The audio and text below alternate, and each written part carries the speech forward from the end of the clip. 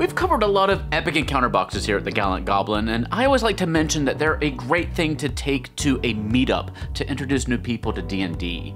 And I realize that I haven't really done that yet.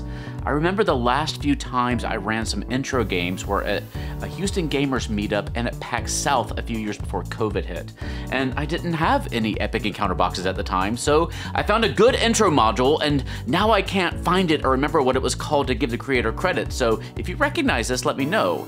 But the party had to infiltrate a lavish party to try to steal an object from the mansion. And it was a great mix of social encounters and combat with a lot of room to find creative solutions. And I ran it like half a dozen times for, uh, and no two groups like, approached it in the same way. So I thought that was fantastic. I brought some generic minis and some pre-gen character sheets, and I drew up the map on some graph paper, and then I just showed up early at whatever event it was, and I grabbed a table and I plopped down a little sign that said like "Come and learn D&D," and I made a lot of new friends, and I brought many of them into the hobby. And now these boxes from Steamforged Games games make a lot of that easier to do.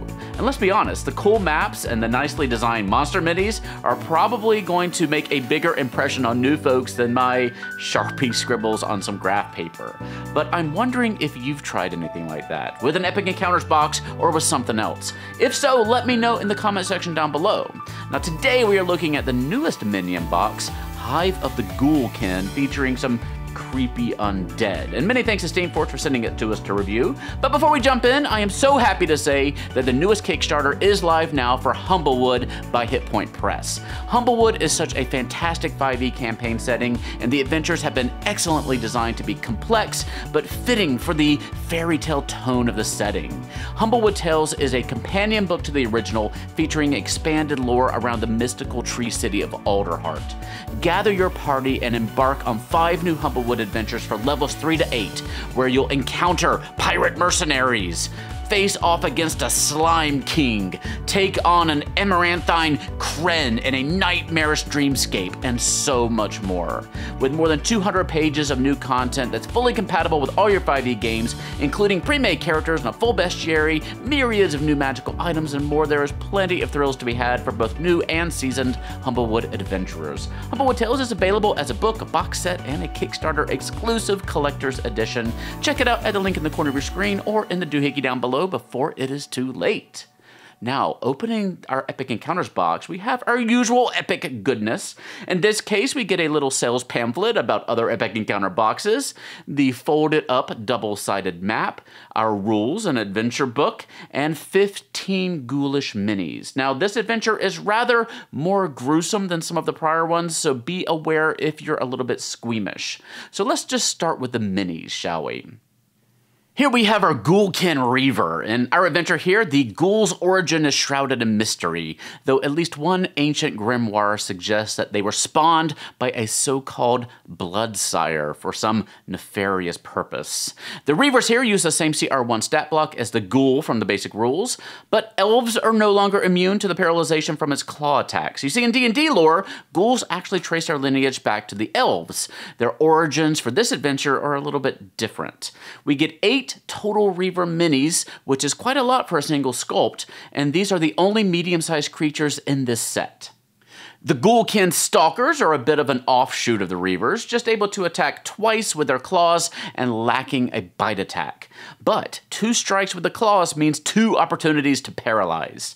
The Reavers and the Stalkers are animalistic creatures who will strike out mindlessly at whatever warm-blooded creature is nearby. The set comes with two CR1 Stalkers. Their stat block lists them as mediums, though I assure you they are on large-size bases here. Next up the food chain, we have a Hive Warden Ghoulkin riding a so-called Corpse Chewer. We get separate stat blocks for each enemy. Let's start with the Hive Warden, who has both a bite and a spear attack, but no ability to paralyze. It does do more damage if it's mounted and moving, and it can knock foes prone. The Corpse Chewer, of course, looks similar to a Carrion Crawler and uses a Carrion Crawler stat block with fewer hit points and a CR of only 1. And it's another creature that does have the ability to paralyze foes, so watch Watch out. Our next big baddie is the Ghoulkin Bulwark. This CR5 undead monstrosity can attack three times a turn, either with its bite, its paralyzing claw attack, or with its ranged spit acid attack. If you're keeping score at home, this is the first monster to really have a ranged attack. So if the party can find a way to keep these raging undead foes at bay, they're gonna have a much easier time of it. Oh, the Bulwark also has the troll-like ability to regenerate, healing from damage. Finally, we had the Broodsire itself, a CR8 undead ghoulkin with magic resistance, the familiar paralyzing claw attack, a powerful bite, an aura of despair that can frighten foes, and the ability to redirect damage to any other ghoulkin nearby. His stat block is lacking in ranged attacks, but the adventure book features a fun rolling table that you can use to determine what happens when he hurls random flasks from his workstation at any pesky heroes who happen to invade his laboratory. And of course, all these ghouls have a number of and immunities too.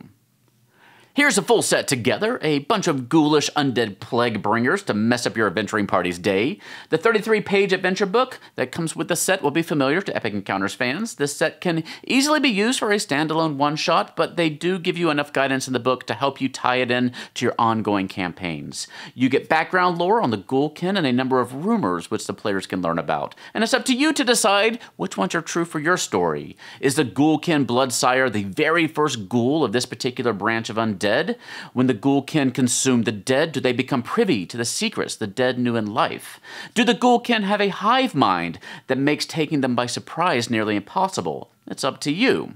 There are also six story hooks to help you connect it to your ongoing adventures. Maybe the graveyards of the town you're visiting are being emptied. Maybe you're tasked with uncovering a bit of knowledge that the ghouls have consumed. Perhaps miners deep underground are going missing. The hooks are varied enough that you should be able to find ones that will connect to whatever story you're telling in your campaign. The book also contains extensive information about the ghouls' lair, their tactics, and the ways that you can make the adventure more cinematic, both with your descriptions and with the gameplay mechanics. And of course, we also have the information about the actual hive of the Ghoulkin. As always, the box comes with a full-color, double-sided map on silken paper. On the first side, we have 15 by 20 inches of playable space representing the crypt, which the players enter from a hole in the ceiling. The crypt here is one large room with a few notable features. In the center of the room are the butchery slabs. It seems the corpses aren't just chewed on like a protein bar in the bottom of my satchel. No different different ghouls like different parts of the body, so the bodies are dismembered and, well, sorted. The slabs will require some constitution saves, and if this were something like Call of Cthulhu or Delta Green, I'd probably also call for a sanity check. The pit in the corner of the room is a maggot farm, used to dispose of the parts of the body that even the ghouls don't want to eat. Apparently, that's the feet. These smarter ghouls will attempt to push the enemies into the maggot hives. And finally, those green glowy bits are pools of acid that the bulwarks had to discharge from their system.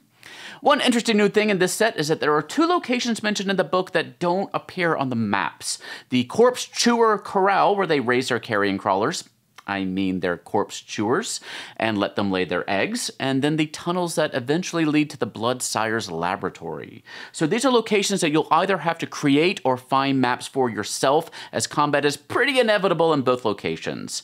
Eventually, they will arrive at the Brood Sire's lair, seen here on the opposite side of the map. You see the Brood Sire crafts his ghoulkin here using a combination of his own flesh, a corpse, strange alchemical reagents, necromantic magic, and his own mad genius.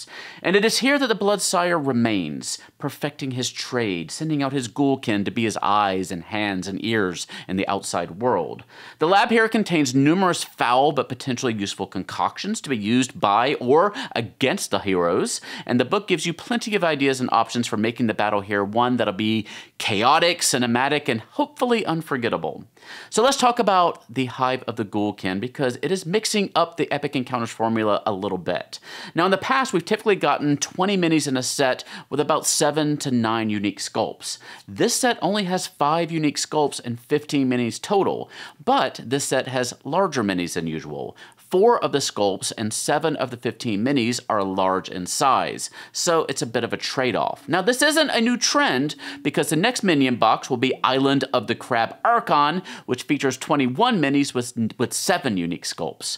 So between this set and the last one, Arena of the Undead Horde, we have quite a dip into the horror genre. And I think you could combine this set with that last pair to make yourself an interesting little undead horror mini campaign. And if you're not a fan of the undead or these more scary, grotesque adventures, the next underwater pair of Epic Encounter boxes may be more up your alley. The only real concern I have with this set is that it features a lot of creatures who can paralyze.